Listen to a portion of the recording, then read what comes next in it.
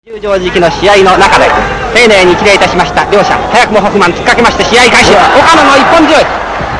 ぐるっと回りました。技はどうか。まだ何らの判定もありません。フランスのボンチェ出身何も声をかけませんが非常に技ありに近い有効な技でしたね一本強い。ポイントですね。はい。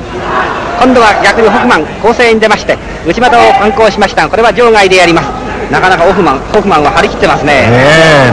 岡野はちょっとこの相手の規制にびっくりしたような表情でありますがしかしそこは自信を持っております。よく見てさばいております。